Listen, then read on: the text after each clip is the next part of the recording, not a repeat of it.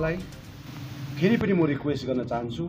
हिजो पनि मैले तपाईँहरूलाई रिक्वेस्ट गरेका छु पहाड तराई डुवर्सका सम्पूर्ण मेरो दाजुभाइ दिदीबहिनीहरूलाई अनि सम्पूर्ण बिहारी बङ्गाली मरवाडी भोजपुरी आदिवासी राजवंशी कोचे मेचे सबै सबैलाई नै मैले आज अपिल गरिरहेका छु।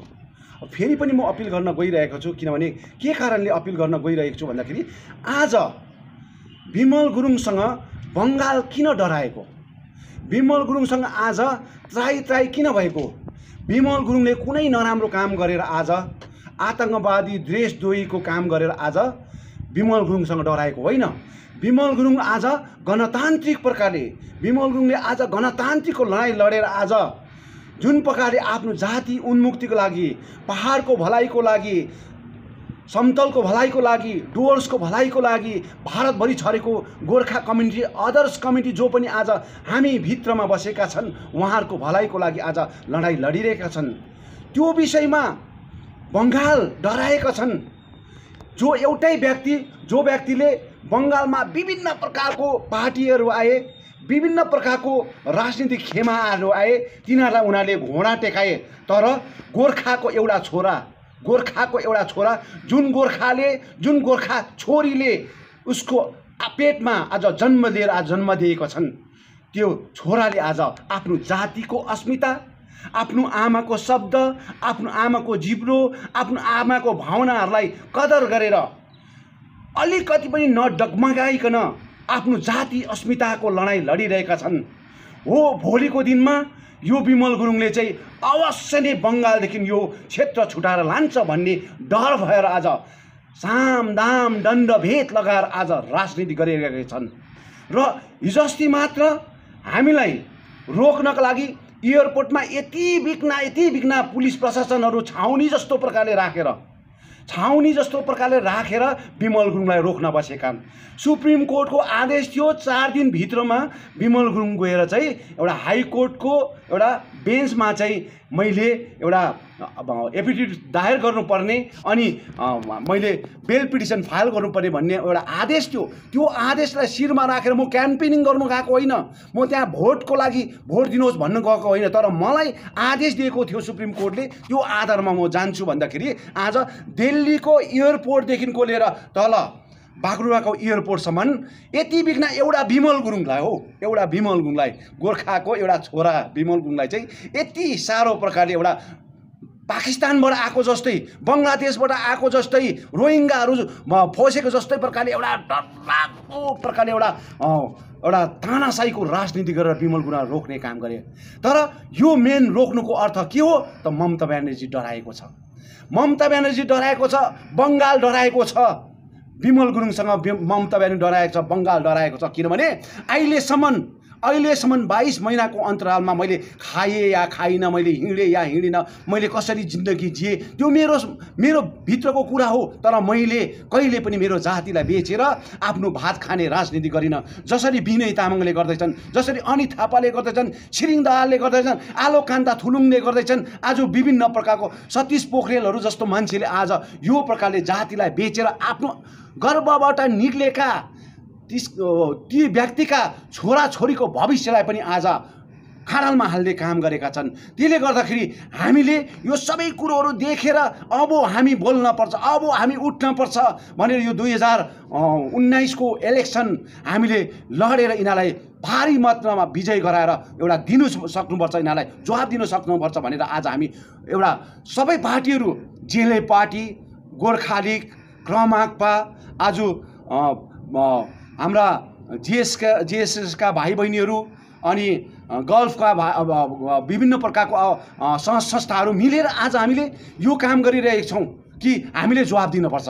कसलाई जवाब दिनुपर्छ? जातिलाई थिचोमिचो गर्ने जातिलाई मार्ने एघार एघारजना भाइ बहिनीलाई आज गोली ठोक्ने गोली ठोक्ने पार्टीलाई चाहिँ जवाब दिनुपर्छ भनेर आज हामी सङ्घर्ष गर्नको लागि आज हामी एकमुष्ट भएर आज बसेका छौँ।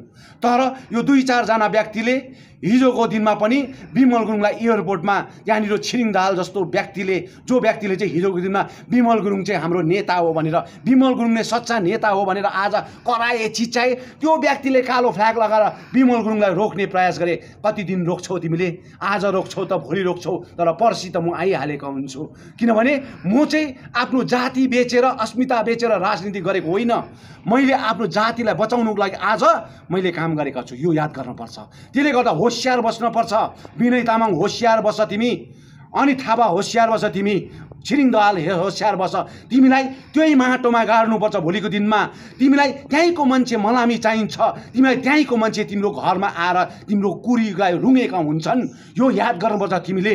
आज हामीलाई आज जुन प्रकारको अन्याय र अत्याचार गरेर घर घरमा पुलिस लगाएर आज पुलिसलाई पक्राउनु लगाएर आज दङ्गा फसाद गराउने काम गर्दैछौ।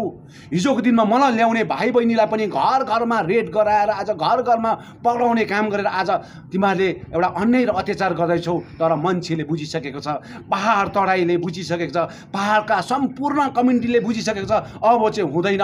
यो चाहिँ अन्याय र अत्याचार चाहिँ आज यो प्रकारको काम हुँदैछ र हामीले ब्यालेटले जवाब दिनुपर्छ भनेर उहाँले काम गर्दैछ। त्यसले गर्दा सबै कुरो मैले भने सुलसुले जस्तै काम गर्नुपर्छ। मेरो भाइ बहिनीलाई दाजुभाइ दिदीबहिनीलाई म काम एउटा रिक्वेस्ट गर्न चाहन्छु।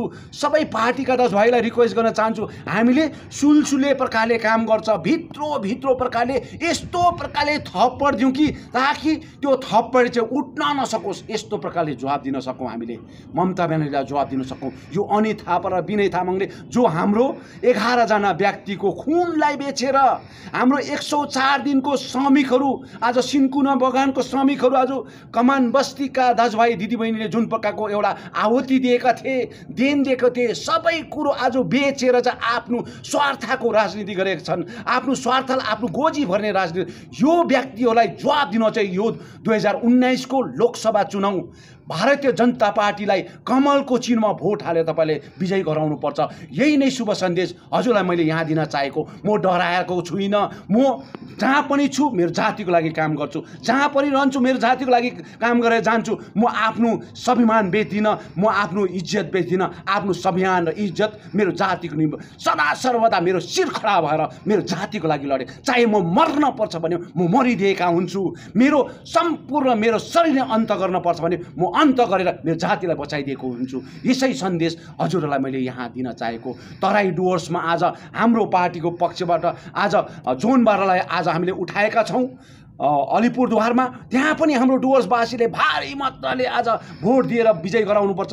अलिपुरद्वारमा जिताउनुपर्छ। जलपाइगढी जग्गामा जिताउनुपर्छ। आज के अरे कुचबिहारमा पनि जिताउनुपर्छ। सँगसँगै अरू आसाम मेघालय भाग्सु त्रिपुरा सबै सबै जग्गामा जहाँ चाहिँ गोर्खा हाम्रा कम्युनिटी छन् उहाँहरूले यो पालि चाहिँ सबै सबै बुझेर चाहिँ भारतीय जनता पार्टीलाई भोट हालेर उहाँलाई विजय गराइदिनुहुन्छ भन्ने शुभ सन्देश यो सानो भिडियोद्वारा तपाईँलाई अपिल गर्न चाहन्छु। सबै सबैलाई मेरो हृदयबाट कोटि कोटि प्रणाम टक्राउँदै बिहारी बङ्गाली मरवाडी मुस्लिम आदिवासी राजवंशी विभिन्न कोचे मेचे टोटोहरू जो पनि आज सम्पूर्ण कम्युनिटी छ सबै सबैलाई मेरो हृदयबाट धेरै धेरै आउने दुई हजार उन्नाइसको अठार तारिक हुने अथवा अलिपुरद्वारामा एघार तारिक हुने चुनावमा चाहिँ एकदमै भारी मात्रामा विजय गराएर जानुहुन्छ भन्ने शुभ सन्देश हजुरलाई दिँदै यो मेरो दुई शब्द यतिमै समाप्त गर्न चाहन्छु। जय गोर्खा जय गोर्खाल्यान्ड भारत माता कि जय।